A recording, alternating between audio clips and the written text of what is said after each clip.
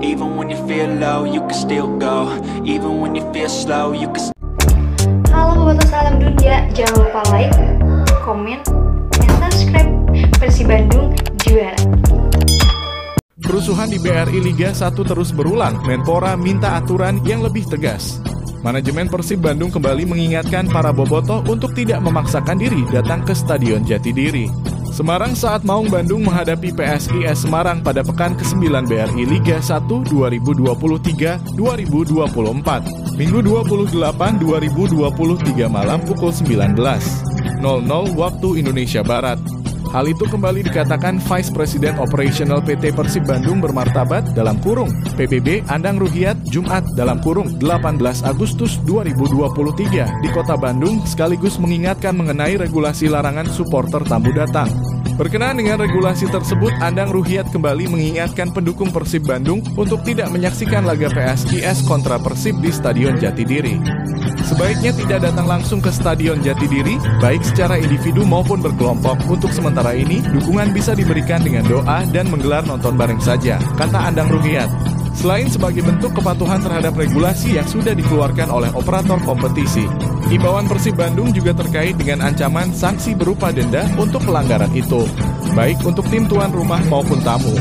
Selain itu, industri sepak bola nasional pun saat ini masih terus dipantau secara ketat oleh FIFA akibat dampak dari tragedi Kanjuruhan malah beberapa waktu yang lalu.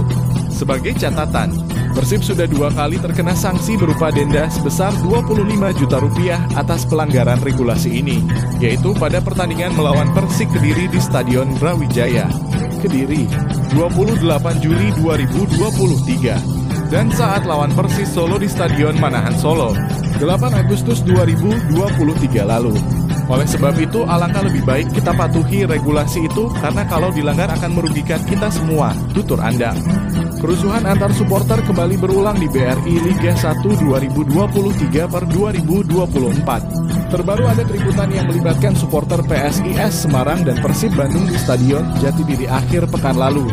Keributan itu adalah yang kesekian terjadi di BRI Liga 1 2023 per 2024. Padahal PSSI dan PT Liga Indonesia Baru dalam kurung LIB sudah mengeluarkan aturan larangan supporter tim tamu untuk datang. Nyatanya aturan itu seperti tak ada artinya dan justru terkesan tidak efektif. Supporter tamu tetap datang dan mendukung tim kesayangannya saat bertanding di kandang lawan. Menpora RI Dito Aryo Tejo pun berkomentar terkait hal itu.